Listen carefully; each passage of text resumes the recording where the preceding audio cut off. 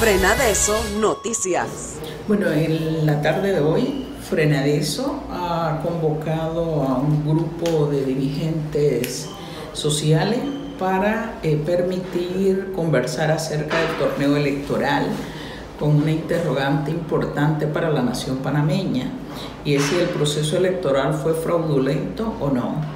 Ha invitado al FAD que vamos a presentar precisamente las pruebas que tenemos de un conjunto de actas que demuestran inconsistencia, que demuestran no transparencia y que es parte de la documentación que estamos ordenando para acudir en los próximos días a la Fiscalía Electoral a demostrar que al Frente Amplio por la Democracia se le quiere arrebatar su 2% alcanzado en el torneo del 5 de mayo. ¿Cuál es el futuro de este partido?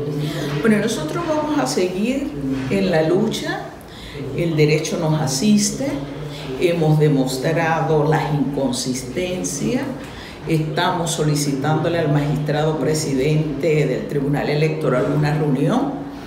Hemos planteado la necesidad urgente de establecer la denuncia frente a la Fiscalía Electoral. Que vamos a hacer Mañana tenemos una reunión también con grupos y organizaciones eh, que tienen que ver con las valoraciones de la participación política de este país.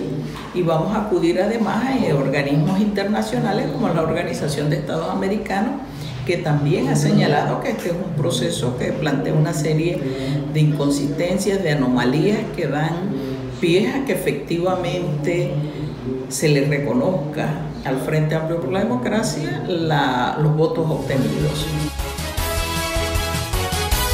Frena de eso, noticias.